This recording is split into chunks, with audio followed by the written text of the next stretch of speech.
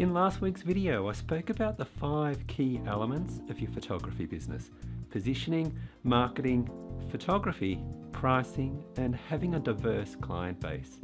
So, in that last video, I spoke about positioning uh, and why you need to control what your prospects and clients think of you. And this week, I want to emphasize the importance of having a diverse mix of clients. Now, I know a lot of photographers uh, focus on one uh, category of photography or, or, maybe one type of client, uh, and in many ways that makes a lot of sense. Uh, if you just do real estate photography, uh, for example, and you just get real estate clients, then that means you can focus entirely on that industry, and that's a good thing. Uh, the problem, though, is what you do if things change in that industry.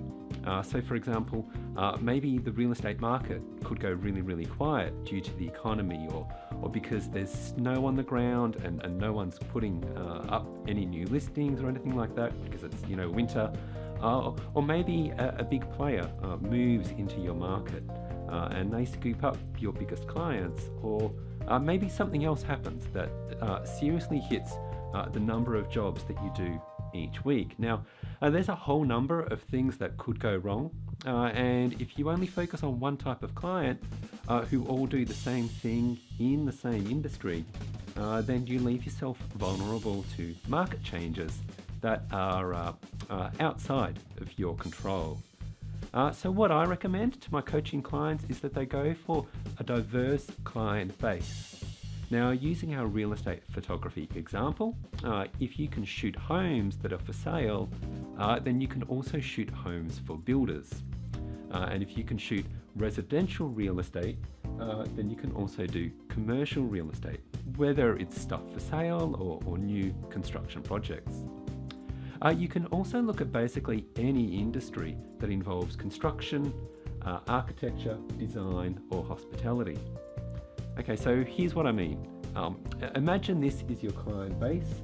Uh, if you only do real estate photography, and, and here's you sitting on top. Uh, that client base is one Jenga block, okay, and it's vulnerable. You take that one block away and you topple over. On the other hand, here's what it looks like when you have a diverse mix of clients. You've got lots of Jenga blocks uh, with you sitting on top.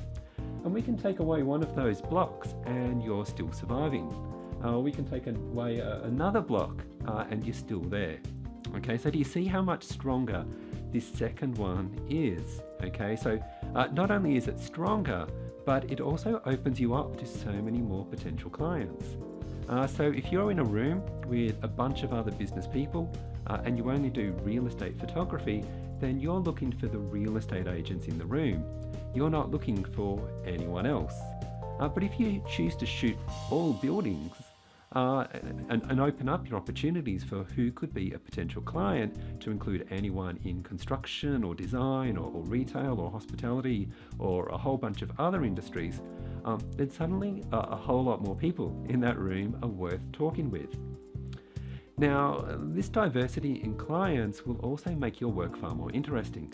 Now, I don't know about you, but I found that it could get very monotonous uh, to be doing the same work day in, day out.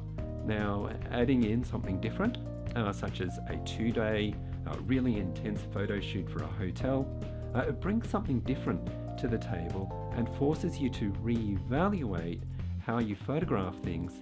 And personally, uh, I always found that kind of thing invigorating. It was really helpful. Of course, what this means is that you need to look at your business and how you position that business, uh, which is what we spoke about last week. Uh, and also look at the very structure of your business. So, if you want to go down this path of having a diverse client base, then you don't want to just position your business as one that caters for the real estate industry, but you want to make it very clear that you do much more than that. Uh, so, to give one example, uh, what's your domain name? So, if it's something like abcrealestatephotography.com, uh, then that's not going to work for you if you want to approach the top architects in your area.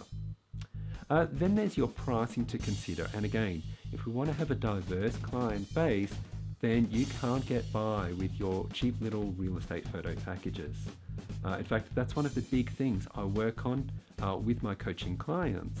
Uh, it's so important uh, to have a pricing structure for builders and hotels that, firstly, positions you as high end and not the cheap photographer that doesn't know what they're doing. Uh, and secondly, present that quote to those clients in a way that um, clearly communicates the benefits that you bring uh, and emphasizes the positioning element uh, that you want to focus on as well.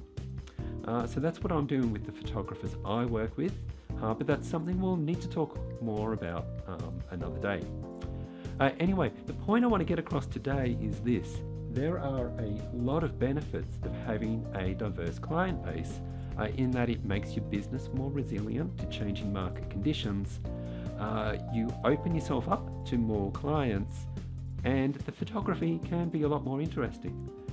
But you will need to structure your business and your pricing and marketing uh, the right way uh, in order to make this work as well as it possibly can. Uh, so there's a lot of work involved, but it's something that I'd encourage you to look at. Uh, and if you need me to help you uh, manage that transition, uh, then feel free to get in touch with me and I'll see what I can do for you. this has been Daryl Stringer, and I'll see you again soon. Bye for now.